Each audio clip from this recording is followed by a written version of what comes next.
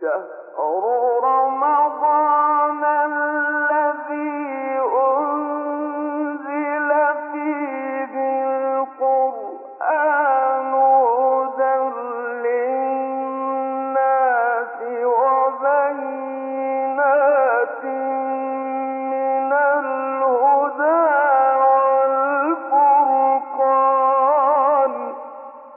بسم الله والحمد لله والصلاة والسلام على سيدنا رسول الله وعلى آله وصحبه ومن والاه. أهلا بكم أيها الإخوة المشاهدون.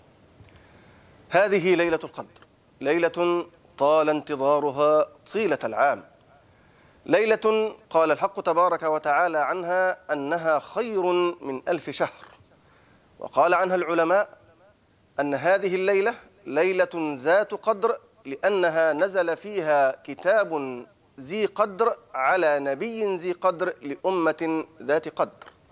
ونقول أن ليلة القدر إنما سماها الحق تبارك وتعالى ليلة القدر كأنها جمعت القدر كله. والقدر هنا معناه التكريم والتشريف والرفعة. ولذلك تعرج الملائكة والروح. الروح التي تعرج ليست المراد جبريل فحسب وإنما كل الأرواح في هذه الليلة لها معراج مع الحق تبارك وتعالى. ولذلك من معاني ليلة القدر أنها ليلة يدرك فيها الإنسان قدره عند ربه. يعني هذه الليلة ليلة جعلها الحق تبارك وتعالى للأمة الإسلامية وللإنسان ليعلم قدره عند ربه. طيب كيف أعلم قدري عند ربي سبحانه وتعالى؟ يقول ابن عطاء الله السكندري رحمه الله إذا أردت أن تعرف من الله مقامك فانظر فيما أقامك. لو عايز تعرف مقامك إيه عند ربنا سبحانه وتعالى شوف هو أقامك في إيه. فإن أقامك في طاعته فذلك من علو مقامك عنده. وإن أقامك في معصيته فذلك من دنو مقامك عنده.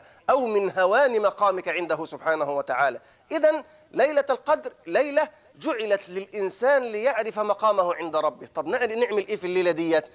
حديث السيدة عائشة الدعاء المأثور اللهم إنك عفو كريم تحب العفو فاعف عنا. نكثر من هذا الدعاء. طيب إيه كمان؟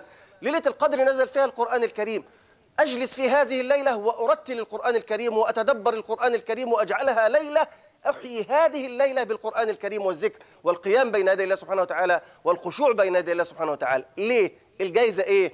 من قام ليلة القدر إيمانا واحتسابا غفر له ما تقدم من ذنبه. تخيل في ليلة واحدة غفر له ما تقدم من ذنبه. يبقى إحنا هذه الجائزة الكبرى هذه الليلة التي ننتظرها جميعا حتى يغفر الله لنا ذنوبنا ويستر عيوبنا. نسأل الحق تبارك وتعالى أن نكون وإياكم ممن يدركون ليلة القدر إيمانا ويقومونها إيمانا واحتسابا. والسلام عليكم ورحمة الله وبركاته.